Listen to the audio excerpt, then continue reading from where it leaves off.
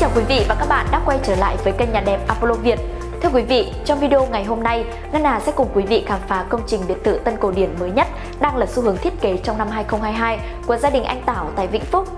Trước khi bắt đầu video ngày hôm nay, quý vị đừng quên nhấn nút đăng ký kênh và chuông thông báo để hàng tuần cùng đón nhận thêm nhiều không gian sống hơn nữa nhé. Thưa quý vị, tham quan hình ảnh 3D với những góc nhìn của mẫu thiết kế biệt thự đẹp tại Vĩnh Phúc của gia đình anh Nguyễn Văn Tảo. Ngôi biệt thự được thiết kế với những nét đơn giản, kết hợp với chất liệu hiện đại nhưng vẫn chứa đựng được những nét điển hình của kiến trúc Pháp. Kiểu mái man sắt cổ điển tôn cao, gam màu trắng ấn tượng và bắt mắt, hệ thống cột vuông tròn dài chắc chắn, hệ thống cửa sổ cửa ra vào bằng chất liệu gỗ tự nhiên, bố trí nhiều lớp chớp thoáng bên ngoài, cửa kính bên trong tạo độ thông thoáng, giúp cho không gian nội thất vào mùa hè và giữ ấm, chống ồn tốt vào mùa đông. Thưa quý vị, mẫu biệt thự 3 tầng kiểu Pháp được tạo điểm nhấn bằng những khối mảng vuông vức, thẳng đứng. Các thân trụ, cột to lớn chắc chắn, không trang trí hoa văn hay các đường phào chỉ xuyên suốt thân cột. Các mảng phân vị ngang dọc tại từng điểm phân tầng rất hợp lý. Thiết kế biệt thự 3 tầng có một mặt tiền chính đẹp, tươi sáng được tối giản mọi chi tiết hoa văn, phào chỉ kết hợp với gam trắng thanh thoát, tinh tế và việc lấy màu tôn gỗ tự nhiên phối nổi bật với gam màu trắng tinh, màu nâu trầm ấm, tôn màu xanh than mái ngói sang trọng tạo điểm nhấn cho công trình hoàn hảo, sắc nét từng vị trí. Như quý vị đã thấy, mẫu biệt thự này của Apollo Việt được thiết kế chi tiết hết sức đơn giản, không trang trí nhiều hoa văn họa tiết trên các hệ cột, không kiến tạo quá nhiều chi tiết nổi bật mà tất đều được sử dụng vừa đủ, giúp cho công trình vừa ấn tượng mà hoành tráng. Gam màu nâu nhẹ trầm ấm, những đường nét vân nhỏ sắc nét, được bố trí ốp đá toàn bộ xung quanh phối cảnh tầng 1 giúp cho ngôi nhà nhìn cao hơn và sang trọng hơn. Với diện tích đất rộng lớn, các kiến trúc sư tính toán với mục đích khoe trọn vẻ đẹp của mẫu nhà từ các góc cạnh, thiết kế biệt thự 3 tầng tân cổ điển với hai sảnh chính được trang trí sang trọng, cuốn hút từ mọi góc nhìn. Ngoài ra còn lựa chọn vị trí ngôi nhà trên mảnh đất với diện tích sử dụng vừa đủ, đáp ứng nhu cầu sử dụng, công năng bố trí các phòng, diện tích còn lại bố trí sân vườn tiểu cảnh sống động để đem tới một không gian gần gũi, thư thái cho một biệt thự đẹp của gia đình anh Tảo. Thưa quý vị, hệ thống cổng hàng rào là một phần không thể thiếu đối với những chủ đầu tư yêu thích kiến trúc Pháp Tân Cổ. Cổng và hàng rào của mẫu biệt thự này được thiết kế rất kiên cố, thông thoáng và được trang trí tỉ mỉ tạo điểm nhấn, tôn lên vẻ đẹp của ngôi nhà.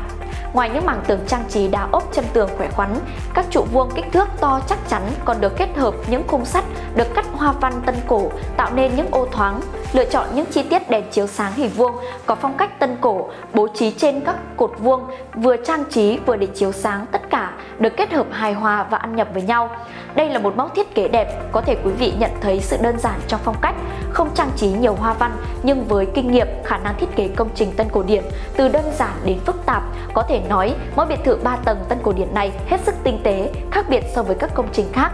Thưa quý vị, để thiết kế thi công chuẩn theo kiến trúc của mẫu nhà này đòi hỏi sự hiểu biết của kiến trúc sư về dòng kiến trúc tân cổ bởi chỉ một sự thay đổi nhỏ hay tự ý thay đổi theo sở thích về tỷ lệ chi tiết kiến trúc hay phào chỉ công trình sẽ hoàn thiện không được như ý muốn. Ngoài ra, chủ đầu tư phải chọn được độ thợ có tay nghề cao và nhiều kinh nghiệm đắp và tô vẽ phào chỉ làm theo bản vẽ thiết kế thì khi xây dựng mẫu biệt thự này sẽ cân đối chuẩn chỉ sang trọng. Đến với công năng của căn nhà này, quý vị sẽ thấy được tài năng thiết kế của các kiến trúc sư của chúng tôi.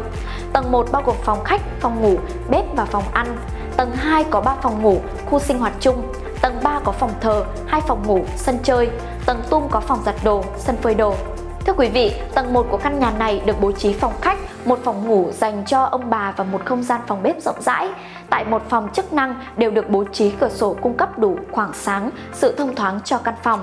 Khu vực bàn ăn này được đặt gần cửa sổ có tầm nhìn hướng ra sân, nhiều sắc màu rất đẹp và thơ mộng. Với thiết kế hai sảnh, ngôi biệt thự của gia đình anh Tào càng sang trọng và hoành tráng hơn rất nhiều, đảm bảo mọi góc cạnh của một biệt thự 3 tầng được nổi bật ấn tượng giữa màu sơn trắng xen lẫn vàng kem. Trong tổng thể, phối cảnh sân vườn trang trí rất hài hòa và bài bản. Như vậy, quý vị với chiêm ngưỡng ngoại thất sang trọng, bắt mắt cùng khám phá công năng khoa học của căn biệt thự tân cổ điển 3 tầng tại Vĩnh Phúc Hy vọng video ngày hôm nay sẽ giúp cho quý vị có thêm nhiều ý tưởng cho mẫu nhà của gia đình mình.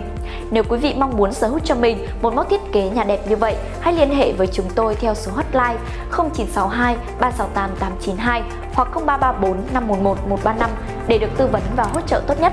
Cuối cùng, Apollo Việt xin kính chúc quý vị sức khỏe và thành công. Cảm ơn quý vị đã quan tâm theo dõi và đồng hành cùng chúng tôi trong suốt thời gian vừa qua. Xin chào và hẹn gặp lại!